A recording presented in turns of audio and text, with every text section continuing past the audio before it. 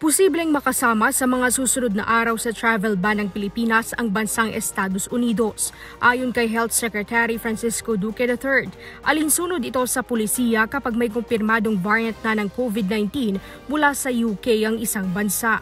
Yes, isasama natin pangsamantala. Remember, this is not a uh, permanent ban. This is only a temporary ban to give us time to assess our uh, situation and to check whether uh, this new variant has already arrived in the Philippines or not yet. Pero nilinaw din naman ni Undersecretary Maria Rosario Vergere na kailangan muna nilang hintayin ang official notice ng US government sa World Health Organization International Health Regulations bago ito formal na isama sa listahan ng mga bansang hindi muna papayagang makapasok ng Pilipinas. Sakaling maaprubahan ito, 21 bansa na kasama ang United Kingdom ang hindi muna makabibiyahe ang mamamayan papunta rito sa bansa. Nauna nang ipinahayag ng DOH na madadagdagan pa ang nasa listahan ng pamahalaan sa travel ban. Depende kung may maitalang kaso ng bagong variant mula sa UK ang mga ito. Kailangan anyang higpitan ang borders ng Pilipinas upang matiyak na walang makapasok na bagong strain ng COVID-19 mula sa UK.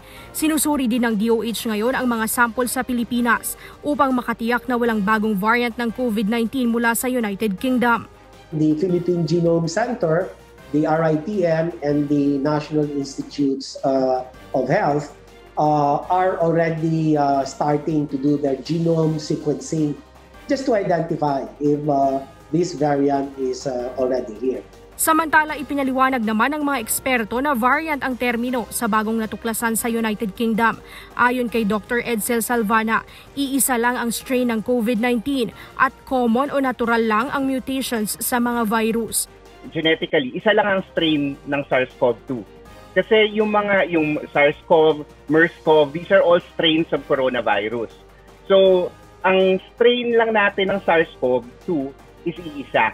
And then any mutations to that strain is called a variant. And then if at some point dumami talaga yung mutations na hindi na gumagana yung bakuna or iba na yung response na antibody, that's the only time masasabihin mo na may bagong strain na nag emerge kailangan anyang mapigilan ang pagdami ng kaso sa bansa upang mapigilan rin ang pagmutate ng COVID-19 at hindi mapuno ang health system capacity ng Pilipinas.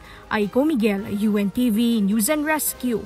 Diyos ang aming sandigan, serbisyo publiko ang aming pinahahalagahan.